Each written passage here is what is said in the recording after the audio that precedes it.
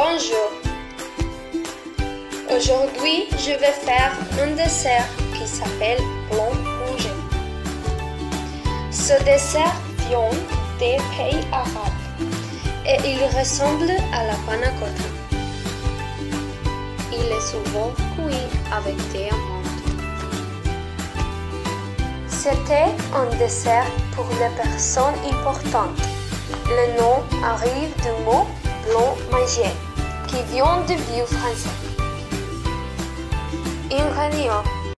Pour cette recette, nous avons besoin de 3 cuillères de fécule de maïs, 2 tasses de lait, 2 cuillères de sucre et 1 cuillère d'essence de vanille. Préparation. Diluez la fécule de maïs dans un pull de lait. Ajoutez le reste de lait et le.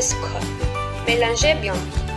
Faites cuire au bain-marie à feu lent jusqu'à épaississement. Laissez bouillir environ 10 minutes. Laissez refroidir et ajoutez la vanille. Mélangez bien. Déposez dans des coupes à dessert.